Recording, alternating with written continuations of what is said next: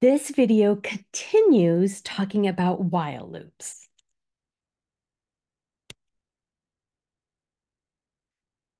So we talked about the structure of a while loop. Let's go now with tips for designing a loop body. So we like to write out our algorithm in that pseudocode to start out with, and then we look for the repeated pattern. That's that the, the lines of code that seems to have some kind of you know, repeated, that's repeating, and it may be changing just by something that we can turn into a variable. So then we look for variables that we want to initialize before the loop. We look for variables that we would want then to update in the loop. And then, then we think about things that we want to do after the loop ends.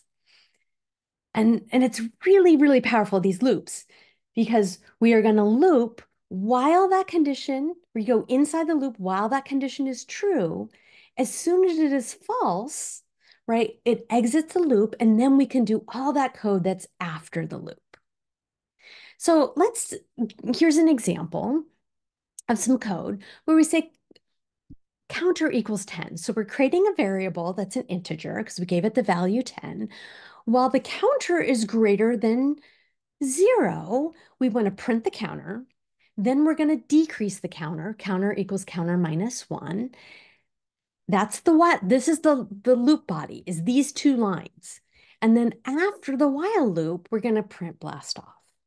So by looking at this code, hopefully you can see what's going to happen, which is a countdown.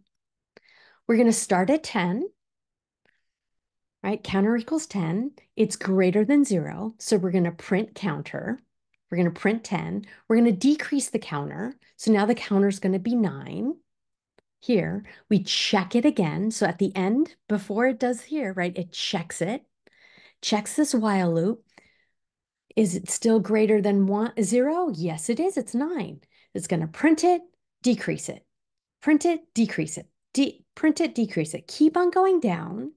Now, what's interesting when it gets to, let's start with two. When it's two, it's going to decrease it to one.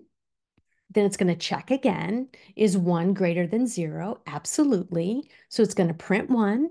And then it's going to say counter equals counter minus one. Well, counter equals counter minus one when it's one is zero.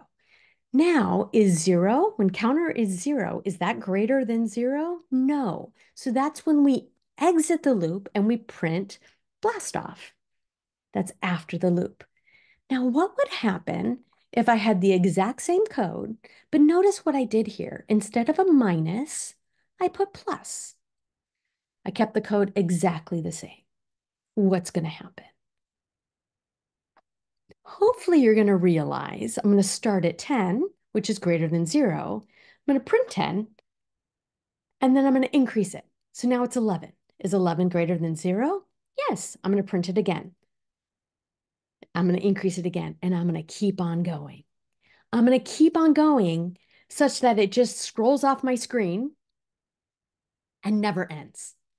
It's never going to end. This loop is never, never, never going to end. It's really going to hold up our uh, PyCharm, which is okay. There is this red square you can hit to actually stop your program. So don't worry. It's, it will not ruin PyCharm. It will not crash your computer. But you can get yourself in this kind of situation. And this is called an infinite loop. This is a loop that repeats forever, right? It just goes on forever. And that happens when that condition, that Boolean expression, never equals false, right? The condition never equaled false. So it just kept on looping forever.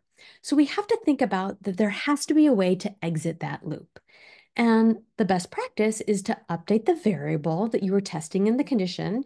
Even though we did that, we did it the wrong way, right? Instead of decreasing the variable, we increased it. So sometimes even updating the variable can be wrong because we did it the wrong way. So we, this is this is like a logic error, right? That that's happening in our code, and we just have to figure them out and and and go back and look at our code and figure it out there's different types of loops. Um, just even in while loops, so this is all in while loops. Um, Some we called count control, which means we define a counter, like a number, an integer, outside the loop, and then the counter is what is used in the loop condition. And that's just like we were doing when we were doing our blast off. It was a count controlled loop. We can also do a sentinel value, which means that we loop the loop stops due to a particular value. We call it the sentinel value or the stop value. Um, and that that value is usually different from the other input. So it could be that we want, you know, a whole bunch of numbers, integers, but as soon as they enter in negative one, we want to quit. So we want to repeat while the loop variable doesn't equal that sentinel value, that stop value. So some common values are like negative one. If we can also use strings, so it could be string. We're looking for exit, or maybe we're giving it a lot of different command, like you know, different words to do, and then when we hit when we type in exit or quit, then the loop stops. We also will commonly use something like a Q or a capital Q uh, to say that we actually want to quit. We maybe there's a whole bunch of options that we could do, and then we want to quit when when the user enters a Q. So this is called a sentinel, uh, a, a loop that's controlled by a sentinel value. There is a variation on the sentinel value, which is like a threshold. Um, so we have this example of a negative one. Well, it could be that we want to exit when it's a negative number, but you're still using that negative one as kind of that sentinel. You're just, instead of using an equals, a double equals to compare it, you're using, you know, we, we want to stop when it's um, less than or equal to negative one. And the last one is this idea of making the loop run at least once. Um, there's times where we say, hey, um, we want to, the we create a variable before the loop. We want it to loop at least once. And then, you know, this the second time, then we want to actually, you know, check it to see if if we want to keep on going. So this way we define that variable before the loop. And we set it such that that loop condition equals true on the first iteration. So that very first time it's going to equal true. And then, the, and then that variable is used in the loop condition. So I'm going to give you some examples. First, uh, account controlled loop. Um, we're going to get input from the user. And we are first going to say, hey, how many times do you want to loop? Right? Instead of just setting it to like 30 like we did for the average or um, or 10, as we did for the countdown, I'm going to ask the user, how many times do you want to loop? So the number of times is five. So that becomes that, you know, not only is it just a, it has to be like an integer value, it could be a integer variable as well. So I'm still going to create a variable before the loop that changes, right? I need a variable that changes, that count. I'm going to set it to zero. While the count is less than the number of times, I'm going to say in loop, count equals, and then print the count value. So the first time in the loop, the count equals zero. I'm going to increase my count. Here I used that uh, shorthand count plus equals one. You can also use count equals count plus one. So now it goes back up to the while loop, checks it again, prints it again. I've got one. I've now increased it to two. When it's two, it's still less than five. Printing, printing two increases it to three. Three is less than five. Four is less than five, right? So I printed four, count plus equals one. Well, when it is actually five, right? When it's actually five, that is not less than the number of times. When count is five, that's five is not less than five. And so after the loop, I just printed my count. You can see that the count is five. So just an example of using that count controlled loop. Here's an example of using that sentinel value or stop value, as some people like to call it. We're going to allow user, the user to enter integers, and when we, we want to stop when they enter a negative one. And to make this more interesting as well is we're also going to add the numbers together, except for, right, we never want to enter that, that, that sentinel value into our total. So I'm going to create a, a variable called total, very much like I did when I was averaging the numbers. Create a total. I'm going to ask the user for to input. Say, give, basically, I, I'm going to you know, convert it to an integer, get input, convert it to an integer. I'm gonna, uh, so I'm gonna ask them, enter negative one to stop. I get a five.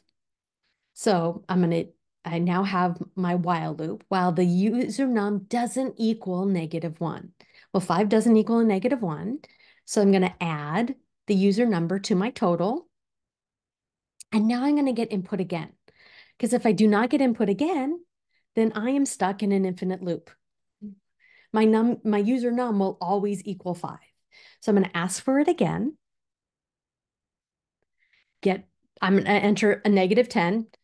Negative 10 is not a stopping value. So that gets added into my total. I'm going to enter another one, 20. That's going to get added into my total. Now I finally do a negative one. Well, now my user number is a negative one. It does not get added into my total. And so you can see that my total is five plus negative 10, negative five, plus 20, which is 15, and the negative one is not calculated in here. Here's an example of using a threshold. We're still going to use that, you know, it's like, what if I wanted to do negative, enter a negative number to stop instead of a negative one? Same idea here. I'm going to add all the numbers together.